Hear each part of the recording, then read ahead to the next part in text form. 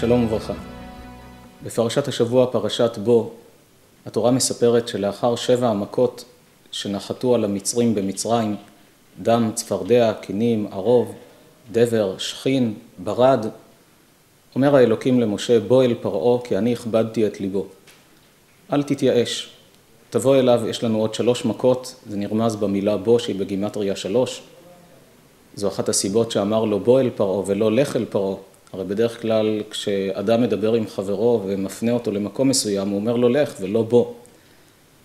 רמז לו שמדובר בשלוש מכות, כך ברובד הרמז שבתורה. על פי הפשט, כשהוא אומר לו בוא אל פרעה, מכיוון שלא מדובר באדם שאומר לחברו לך למקום פלוני, אלא הבורא, האלוקים, הרי מלוא כל הארץ כבודו. אם הוא אומר לו לך, זה אומר שאני לא נמצא שם. לכן הוא אומר לו בוא אל פרעה, אני כאן ואני שם, אתה יכול לבוא, אני נמצא גם שם, שהרי מלוא כל הארץ כבודו.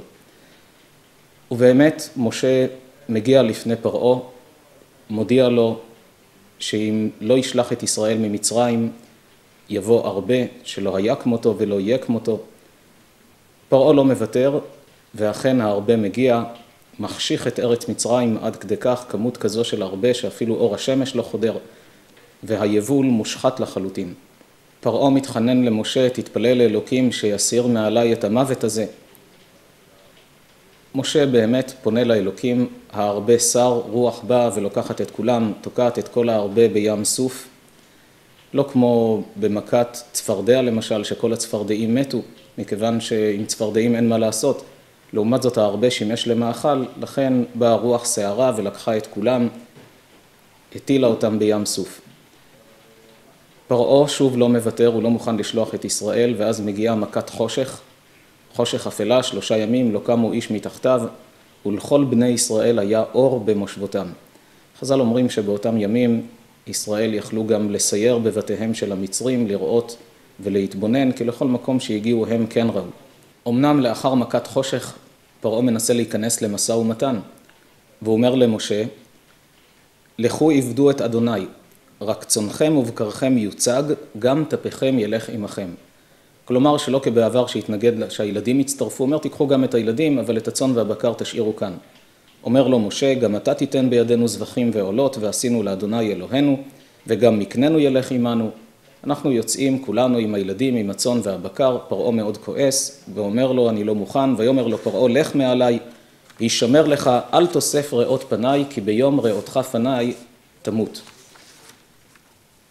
משה לא נרתע, הוא מקבל נבואה באותה שעה, וכך אומר לו האלוקים.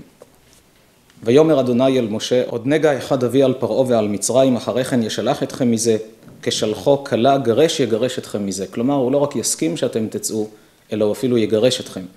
דבר נא באוזני העם, וישאלו איש מאת רעהו ואישה מאת רעותה, כלי כסף וכלי זהב. ובאמת כך היה, משה יוצא מלפני פרעה, מכת בכורות מגיעה ועם ישראל יוצא ממצרים, אבל רק לאחר שביקשו איש מאת רעהו ואישה מאת רעותה, היהודים מבקשים מהמצרים כלי כסף וכלי זהב ושמלות, וכך הם יוצאים ממצרים כאשר הם צוברים איתם רכוש רב. כותב כאן רש"י, הוא מביא את דברי חז"ל בתלמוד, אין נא אלא לשון בקשה, דבר נא באוזני העם. צריך להתחנן בפני אדם שיהיה לו כסף וזהב ובגדים. בבקשה ממך, הזהירם על כך שלא יאמר אותו צדיק, אברהם, ועבדום ועיינו אותם קיים בהם, ואחרי כן יצאו ברכוש גדול, לא קיים בהם. כלומר, הרי כאשר הקדוש ברוך הוא אמר לאברהם, ידוע תדע כי גר יהיה זרעך בארץ לא להם, ועבדום ועיינו אותם ארבע מאות שנה. הוא מוסיף ואומר לו, ואחרי כן יצאו ברכוש גדול. כעת עם ישראל עובד במצרים, שעיבוד של מאות שנים, זה יתקיים. אבל אברהם שם למעלה נמצא בגן עדן העליון, מסתכל ורואה שעם ישראל יוצא ממצרים ללא רכוש. אז שלא יאמר אותו צדיק שהאלוקים קיים את ועבדום ועינו אותם, אבל ואחרי כן יצאו ברכוש גדול הוא לא קיים, לכן דבר נא, אף על פי שראשם טרוד בעניינים אחרים, בבקשה ממך, תפציר בהם שיקחו כלי כסף וכלי זהב כדי שאקיים את הבטחתי. במבט ראשון, המשפט הזה לא מובן. מה פירוש שלא יאמר אותו צדיק? שאברהם לא יתלונן. ואם אברהם לא היה מתלונן, האלוקים לא אמור לעמוד בהבטחה? הרי הוא אמר, ואחרי כן יצאו ברכוש גדול, זה צריך להתקיים. מספרים על שני מלכים שהיה ריב גדול ביניהם על שטח מסוים, אדמה. למי האדמה הזו שייכת? המלך הזה טוען שהאדמה שייכת לו, המלך האחר טוען שהאדמה הזו שייכת לו. אחד המלכים שלח שליח לחברו, לאותו מלך שהוא נלחם איתו, ואמר לו, עד מתי יישפך דם נקי? בוא נעשה הסכם בינינו. אנחנו נעמיד את הצבאות שלנו משני הצדדים, אתה תשב עם השרים שלך על במה גדולה, אני עם השרים שלי על במה אחרת, ממול. באמצע יהיה בור גדול, תשלח אתה את החייל החזק ביותר, הבכיר ביותר שיש לך, אני אשלח את שלי, שניהם יתעמתו ביניהם, יעמדו במרחק מסוים מהבור, מי שיצליח להשליך את חברו אל תוך הבור, הוא יהיה המנצח, והאדמה תהיה שייכת לאותו מלך. המלך השני הסכים לדברים, וכך היה, נעמדו משני הצדדים של אותה שדה. המלך הזה יושב על במה גדולה עם כל שריו ועבדיו ומשרתיו, וכך המלך השני מהצד השני. בור גדול במרכז, והנה המלך שהעלה את הרעיון הזה, שלח כמובן את החייל החזק, השרירי, האמיץ ביותר שיש לו. אבל כאשר הוא ראה מי יוצא מהמחנה השני, נפל ליבו בקרבו. הוא רואה אדם שניתן להגדירו כהר אדם. ענק, חזק, שרירי, אי אפשר להשוות בכלל בין שניהם. אבל אין מה לעשות, המאבק מתחיל, האות ניתן ושניהם מתחילים להיאבק.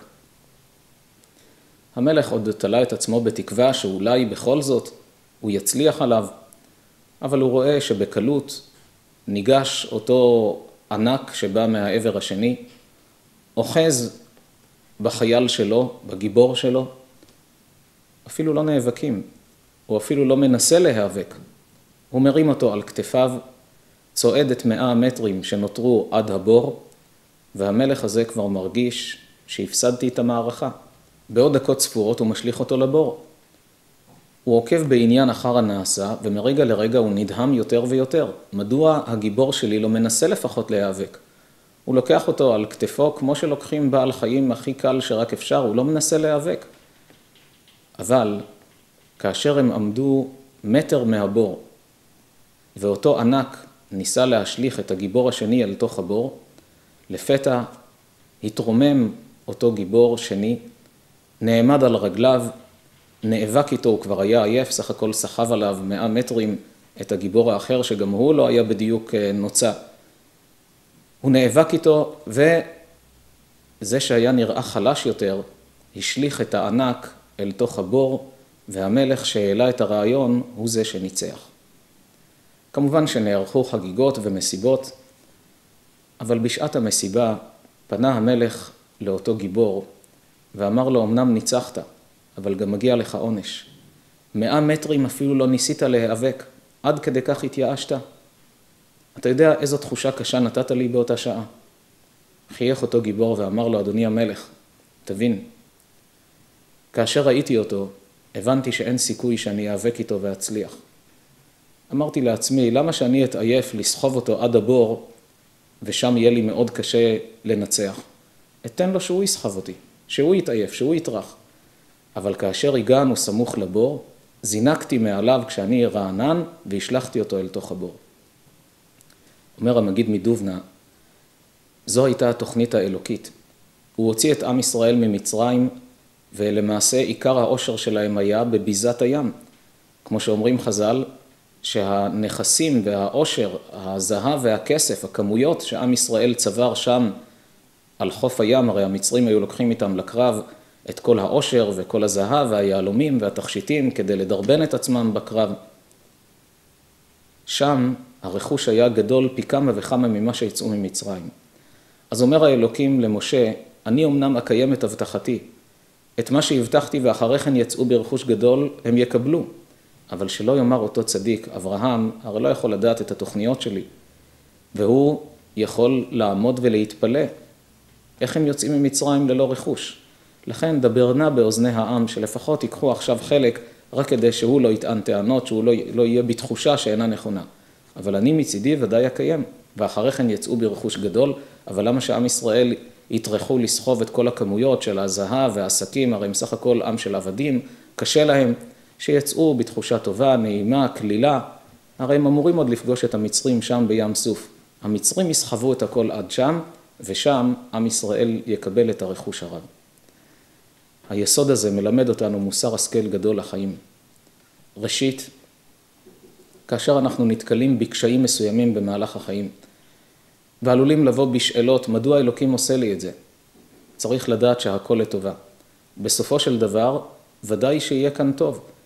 יש טוב של קושי התחלתי שנותן בסופו של דבר את העושר הגשמי, ויש קושי התחלתי שנותן את העושר הרוחני. עם ישראל למעשה עמד במבחן של אמונה. המצרים רדפו אחרי עם ישראל והשיגו אותם חונים על הים. כל זה נועד כדי לבחון את עם ישראל באמונה שלהם, לחזק אותם באמונה ולסייע להם להגיע לרמה של ביטחון באלוקים. אתה יכול לבטוח בי, אומר הקדוש ברוך הוא לאדם. גם אם במבט ראשון נראה לך שאתה סובל, שאתה לקראת נפילה, אבל תדע שיש מישהו מלמעלה שמשגיח עליך והכל לטובה. נאחל לכולנו חיים שלווים, מאושרים, מלאי ביטחון. תודה רבה לכולם ושבת שלום.